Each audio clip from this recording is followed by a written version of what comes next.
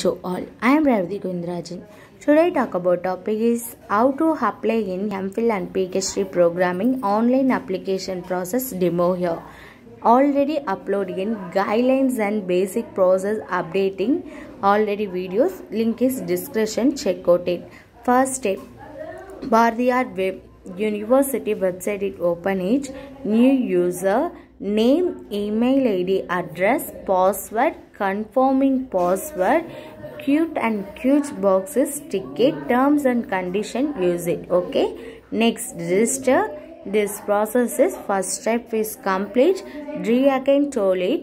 First step, full name, email address, password, confirm password, cute boxes, ticket, register for you. This video already your website it open it.